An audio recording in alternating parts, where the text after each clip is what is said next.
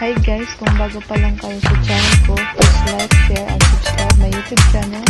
My name is Michelle Kabi Vlog. Ngayon guys, ituturo ko sa inyo kung paano i-download yung green screen YouTube subscribe button. Tara guys, samahan niyo ako.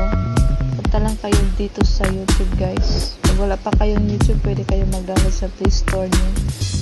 Search niyo lang yung green screen.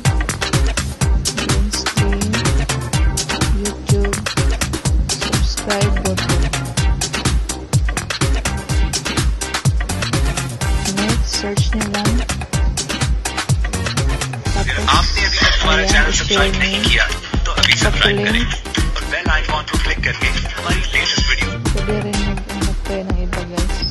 Yung mabilisan lang. Ito. Ayan, copy-link. Share nyo lang, copy-link. Tapos punta kayo sa Google Chrome. Search nyo lang yung save from NIP.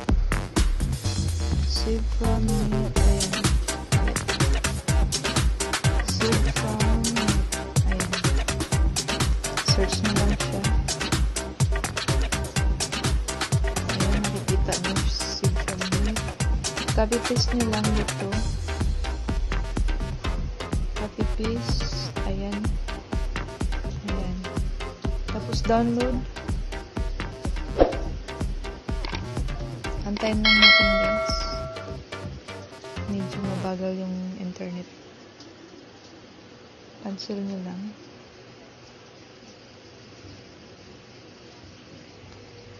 Ayan, download natin. Ayun. Ayun yung download guys.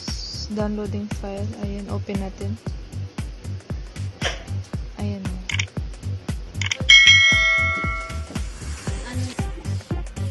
Thank you so much guys.